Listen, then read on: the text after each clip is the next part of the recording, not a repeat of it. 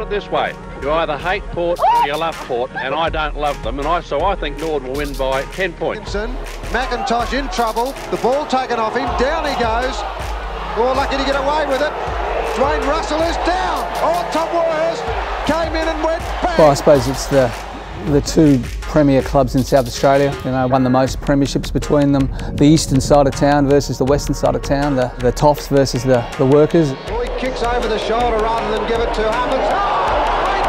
Oh, it was a massive rivalry. I remember even right back to when I was a 14 year old when we lost the grand final in 1984. As a young fella, I had a hatred for Norwood back then. Oh, look, mate, it goes back as far as I remember as a young kid uh, sitting on the outer watching. It was always a, a fierce rivalry between the two teams.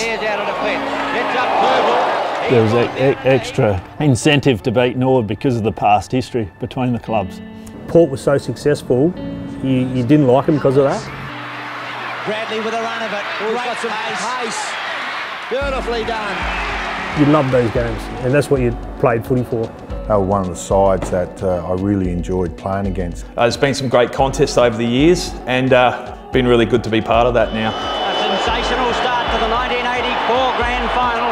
Two players, Craig Barham and Tim Evans, may have been reported before the ball has even been bounced. They were always their number one rivals, so uh, but there was that healthy respect. He knew that every time you played Norwood, no matter if we were up the top or down the bottom or vice versa, it was always a tough game. And it didn't matter if the one side was on, up the top and one side was down the bottom, both sides lifted to the occasion.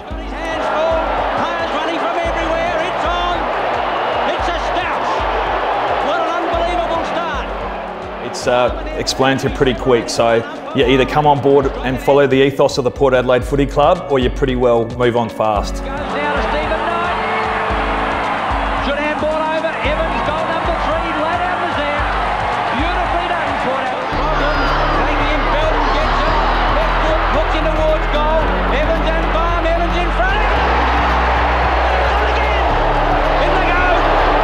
No matter whether, whether we played them here at Alberton or over at the parade, there was always a big crowd. It was always great to play well in those big games, and and uh, no coincidence we played them a lot in finals, and uh, you know some fantastic games from some heartbreaking losses for us and some great wins.